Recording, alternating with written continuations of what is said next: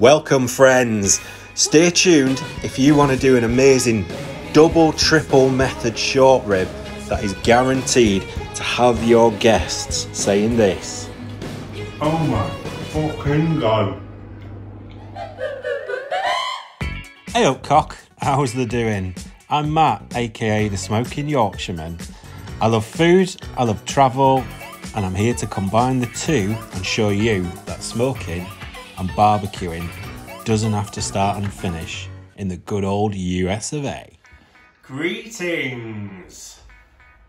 Jacob's Ladder short ribs. So in England, we refer to this pack of ribs. So you see there's five lovely ribs, beef ribs there together as a Jacob's Ladder. So in America, you kind of see it as a, as a short rib. Um, exactly the same thing, but we're gonna be smoking this today using the triple double method. So what's the triple double method, I hear you cry? Triple double, method I invented. We've got three different types of smoke. That's your first three. Second triple is our seasonings. So the first one we're gonna use, all-purpose barbecue seasoning from Kansas City Cowtown. Second one, because you know me, I like a bit of heat on my barbecue. So we're gonna go with a slight rub of ghost chili.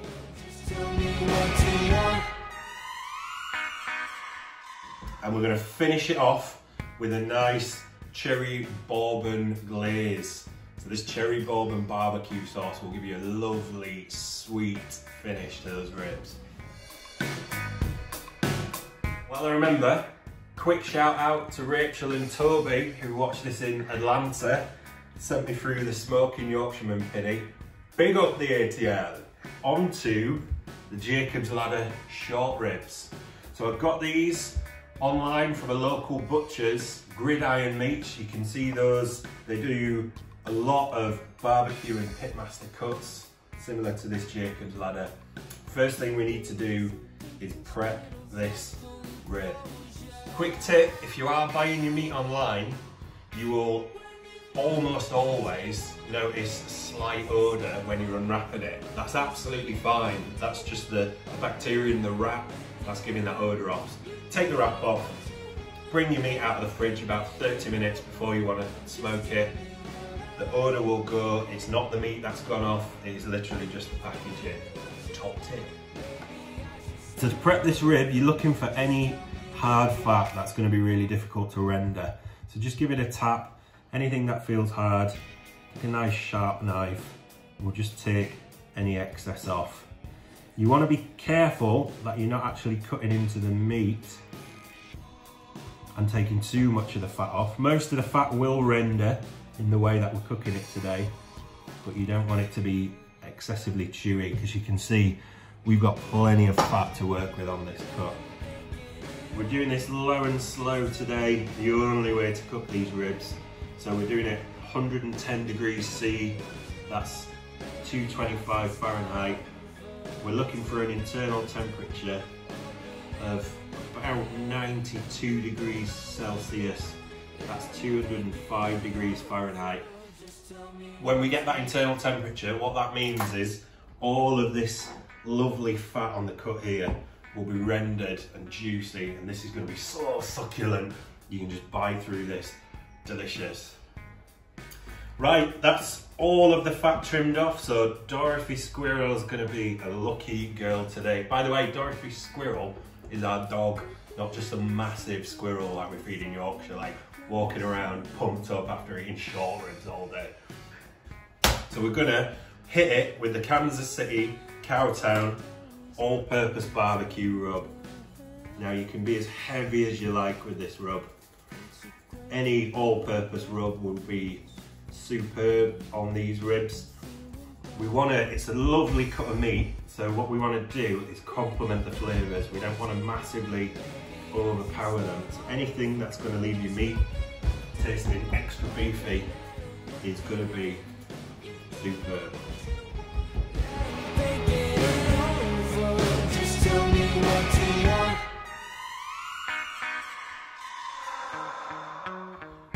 While I remember, we've got the membrane on these ribs. So cooking pork ribs, you get a membrane on pork ribs. Sometimes take it off, gets the rub all the way onto the meat. It's not a big deal if you don't take it off. With beef ribs, massive deal. This is gonna taste like the bottom of your shoe if you leave this on. So what you wanna do, pull it off. It's pretty tough, just get a good grip, take it all off.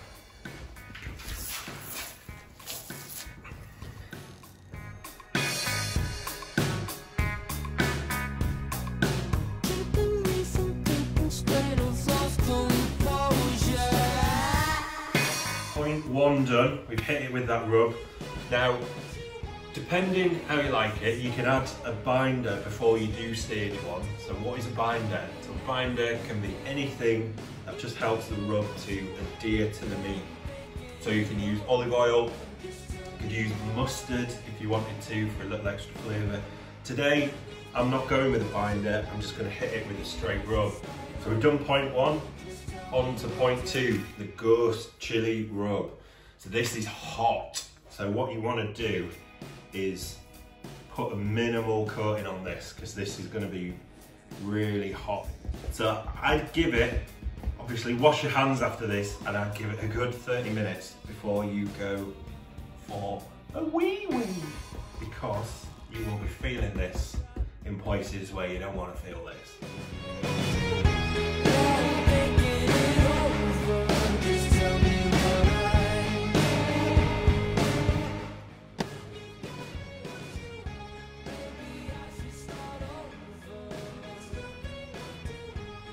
Now let's smoke this fool.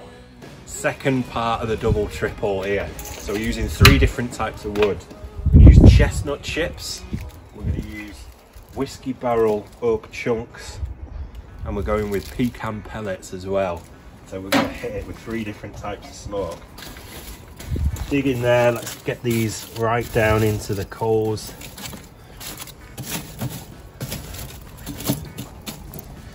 And then pellets in last. Give these a sprinkle around and as the fire progresses, you're gonna get smoke all the way through your cook. You can start to see it smoking already. Pop the smoking stone on, diffuser, and the grill. And then leave it at that because the grill's cooking. So grill's up to temp, 110 degrees C. Let's get these ribs on there. Going to leave these for at least two hours before we even check the temps on them. So let's go watch some football. Right, so two hours 20 in, we're just going to give it a little bit of a spray with this beef stock spray, bit of a design flaw. Put boiling water in this, makes it frigging red hot. Safety first, second and third, put your gloves on. So just literally, oh, look at that. Look how that's coming along. So we're just going to give it a spritz to keep the, add a bit of moisture on it, stop it from drying out.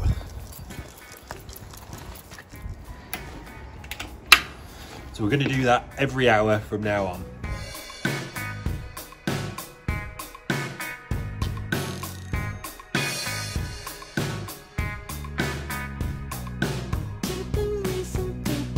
nos seus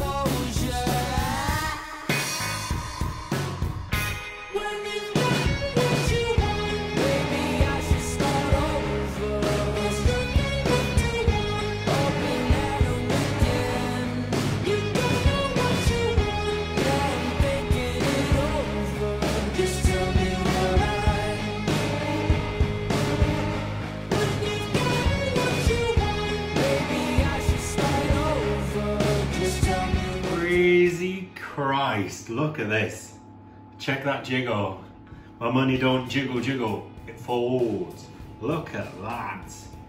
Right, we're gonna leave this. This is fresh off the smoker, so you can see this lovely glaze going on here, this cherry bourbon glaze.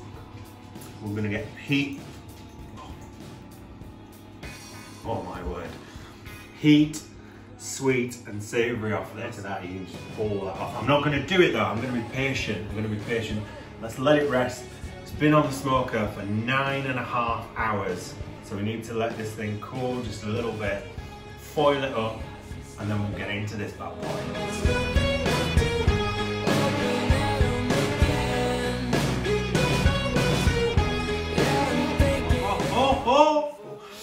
Nine and a half hours this beef short rib has been in.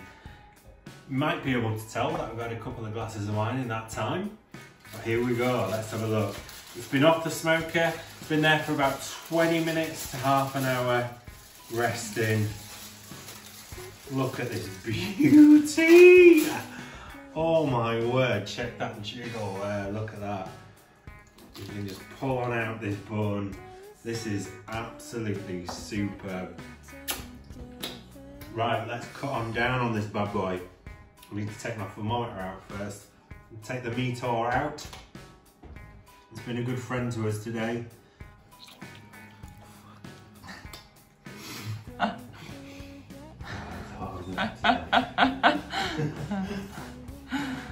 That's brilliant. You need to put the swear in. Right, take Go. two.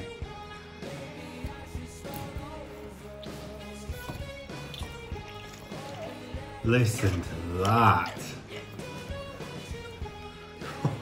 My word. Oh shit, this just doesn't happen. Look at that.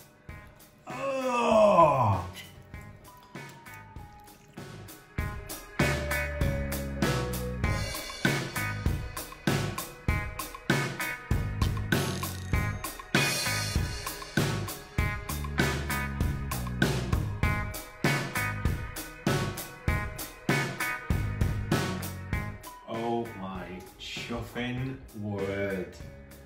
Right, I'm gonna take a piece of this. This might be too hot to handle. Let me get a little taste of this. So this is a triple double method. We've got two rubs. We've got a glaze on there. We've got three types of smoke on this. Let's give it a go.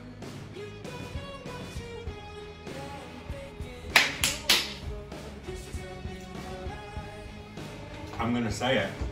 That is friggin' awesome. You're getting the sweet cherry coming through, a little bit of heat in there, which is what we wanted.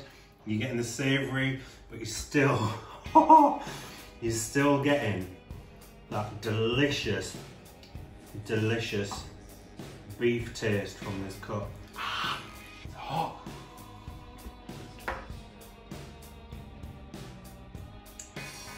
You need to do this. You need to do this. You'll be a fool if you don't. If you've liked this video, hit the like button, hit the subscribe.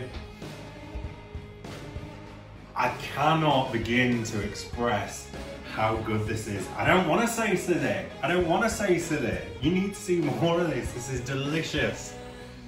You know what? Time to eat though. So my friends, I'll say Just tell me what to